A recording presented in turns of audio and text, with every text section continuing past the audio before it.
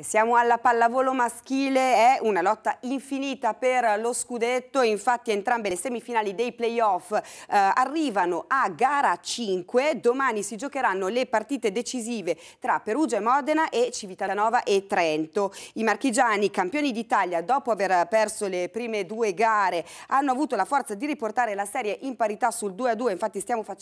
vedendo le immagini eh, dell'ultima gara e conquistare poi la Bella che deciderà la l'accesso alla finale. La gara proprio tra Civitanova e Trento, e Trento scusate, sarà trasmessa in diretta alle 20.30 su Rai Sport più HD, canale 58 del digitale terrestre e 21 del TV Sat.